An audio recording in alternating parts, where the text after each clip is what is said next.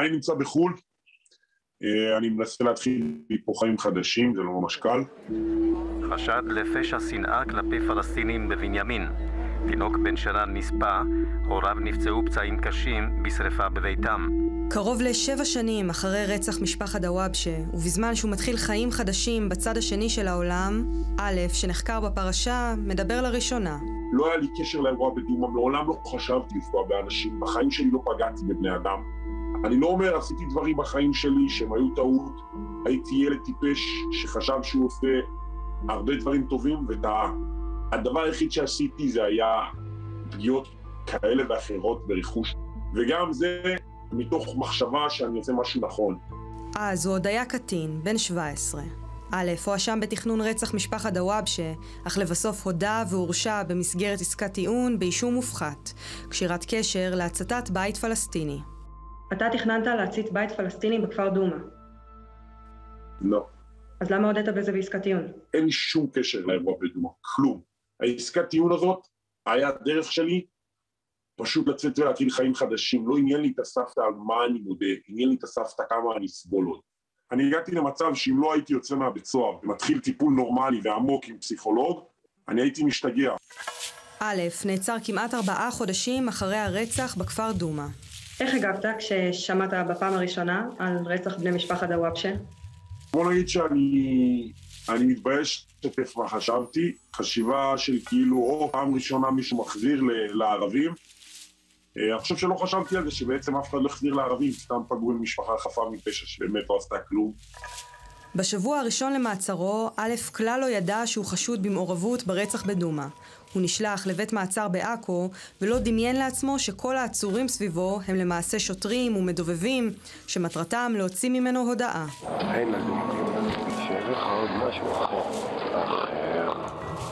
מבית המעצר המדומה נשלח א' לחקירת שב"כ. שם כבר הטיחו בפניו את החשדות החמורים נגדו. א' שתק רוב הזמן, ואז, אחרי שבועיים וחצי במעצר, הכל השתנה. לקחו אותי, שמו עליי כיסוי עיניים, שבו אותי ידיים מאחורי הגב ואזיקי רגליים, התיישב מולי חוקר, ובום, הוא מקבל סטירה לתוך הפנים. זאת הייתה הפעם הראשונה בתולדות המדינה שבה נחקרו יהודים באמצעות הפעלת כוח פיזי. מה בדיוק היו שיטות החקירה? את זה בית המשפט אסר לפרסם. כאבים שבחיים שלי לא הרגשתי, כאבים שהם מטורפים, שרק הולכים וגוברים. פשוט הפסקתי להרגיש את הידיים, פתאום הידיים שלך מרגישות כאילו הן עולות באש. וביחד עם כל זה שכל ההשפלות וצרחות, אתה כבר שבר כלי, אין לך אישיות, אין לך בחירה. מבחינתך עכשיו, מאותו רגע, החוקר הוא הבוס, והוא מחליט אם יכאב לך, הוא מחליט אם תאכל, הוא מחליט אם תישן, הוא מחליט אם תשתה. א', נחקר שלוש חקירות כאלו שנמשכו שעות ארוכות ולפעמים לילות שלמים ונפרסו על פני ארבעה ימים. הם בעצם מביאים אותך למין בועה שהדבר היחיד שאתה יכול לעשות הוא לרצות אותם, אז אתה מנסה לעשות באמת הכל ואתה מנסה להודות ואתה לא מצליח, אתה לא יודע את הפרטים. אמרתי לעצמי, אין לי איך לצאת מזה, אז פשוט אמרתי, אני מעדיף למות. עכשיו, לא באמת היה לי איך למות, כי כמובן אתה בבית סוהר, בשב"כ, הם דואגים שלא יהיה לך אפשרות כזאתי.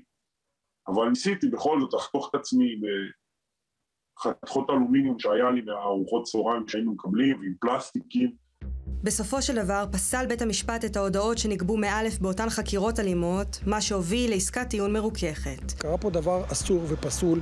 אף אחד עד היום לא נותן את הדין על הדבר הזה. אנשים מבוגרים, בכירים, פשוט היכו ילד שנמצא במעצר שלושה שבועות בלי עורך דין, בתנאים לא תנאים, זה דבר לא ייאמן.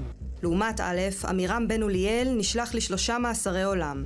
בית המשפט קבע כי יש מספיק הודעות וראיות אחרות כדי להרשיע אותו ברצח בני משפחת דוואבשה. מחר ייערך דיון בערעור שהגיש בן אוליאל לבית המשפט העליון. אני מאוד אשמח שבית המשפט יתערב התערבות קשה והחלטית בעניין הזה.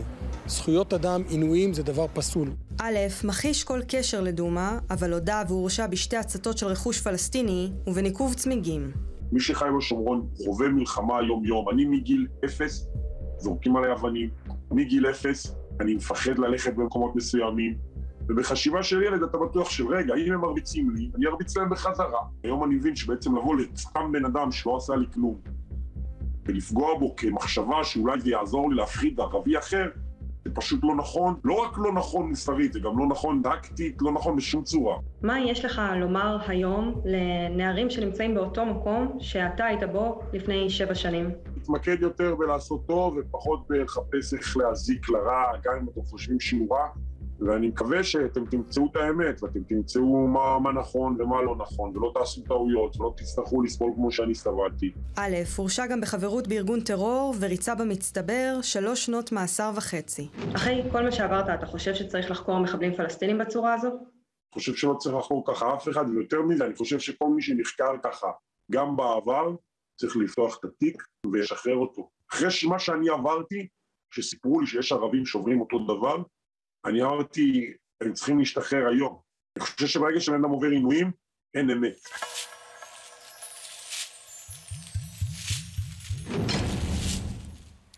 זו תגובת שירות הביטחון הכללי במהלך ההליך המשפטי, ועד היום מתקיים מאמץ יזום, מתמשך מצד גורמים בעלי אינטרס להכפיש את הארגון ואת עובדיו, וכך ליצור דה-לגיטימציה לפעילות שב"כ. שב"כ ימשיך לפעול בהתאם לייעודו על פי חוק ובמטרה לשמור על ביטחון המדינה ולסכל טרור באשר הוא טרור.